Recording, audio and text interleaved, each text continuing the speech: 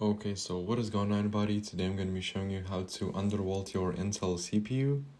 So in this video I'm going to be using a software and we are not going to use the BIOS.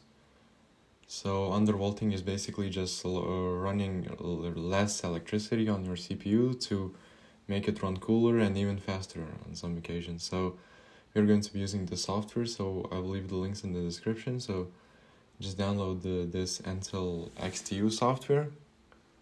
Just wait for it to download and just install. It's just a basic install. I already have it installed. I will not show you this. So just install the software right here. Okay. And then after that, go to another link in the description and download this HWiNFO uh, software. So just uh, click on the portable version, go to this link or whichever one you want and just uh, wait the five seconds and uh, it will show you your install button so just yeah so it's now installing hardware info. So in the meantime I will show you Intel Extreme Tuning so utility so just uh, uh, double click on it. Okay will start up or or it may not start up okay? So there are a few things that you can do to uh, be able to run this software if you are not able to so the first one is to go to the BIOS and enable overclocking. So I will show you that right now. But it's uh, depending on your motherboard and your CPU. And another thing is to uh, go to turn Windows features on and off. And then disable this uh, virtual machine platform. So just disable this. Okay, and then click on OK. It will ask you to restart your PC. So just restart it and come back.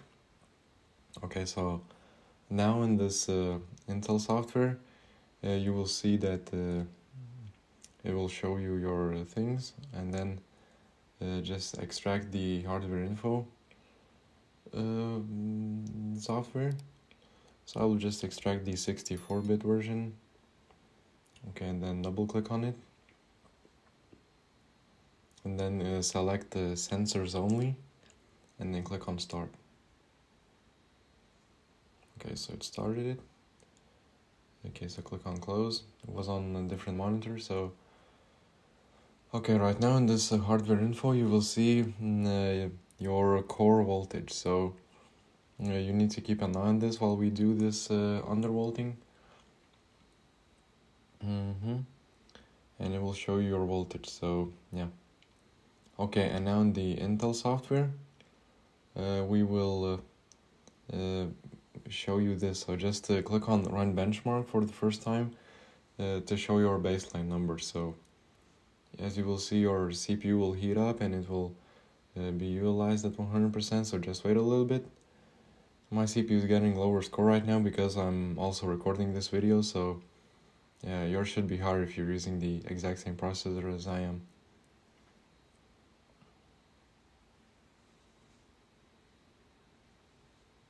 Okay, and as you can see, I got 6,418 marks. Okay, so after this, go to the core voltage offset, and then uh, you will get this pop-up, uh, disclaimer, yeah, yeah, everything, and just click on agree. And then in this offset, uh, go to 0 0.05 volts, minus 0 0.05 volts. Okay, and then click on apply. And after you click apply, you'll see your core voltage will drop a little bit. Okay, then then run the benchmark once again. And uh, yeah, so just wait for it, wait for it to finish. Uh, keep an eye on the voltages. As you can see, they should be a little bit lower than before.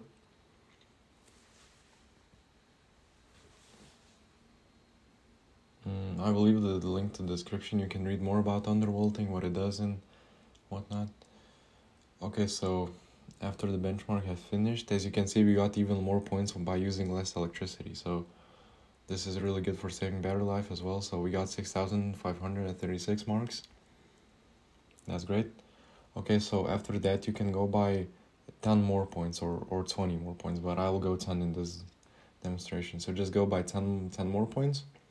So we go by minus 0 0.06 volts and then click on apply and then run the benchmark once more. So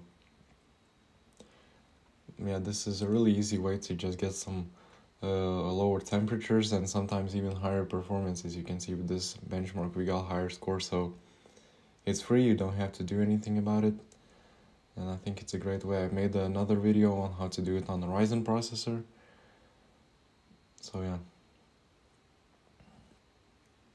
And then we got 6530 marks. So we got about the same as last time, but uh, the temperature should be dropping lower while we're gaming and stuff like that. So next step would be to go 10 more, but I will not show it in this video. So you will stop after your PC crashes. It it's nothing bad after your PC crashes. Just uh, restart back up and go to the last voltage that was safe. So for example, uh, 0.6. Yeah.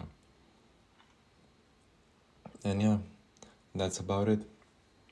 So thanks for watching guys. If you want to see more content like this, please like and subscribe.